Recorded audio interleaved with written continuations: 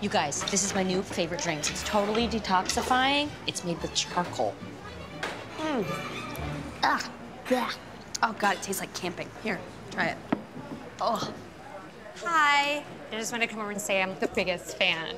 Oh, hi. How are you? Carrie, Oh, hi. hi. Nice to meet you. Hi, Jodie. I know your name. Yeah. oh my God. Are you Beverley Mitchell? Hi. Oh my gosh. Are Lucy Camden and Stephanie Tanner friends in real life?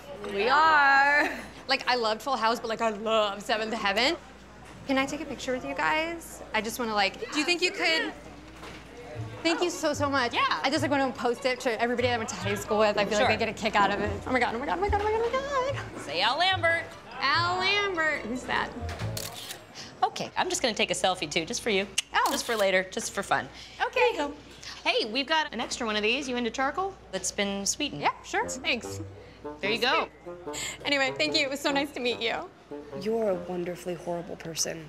I know. That's why we're friends.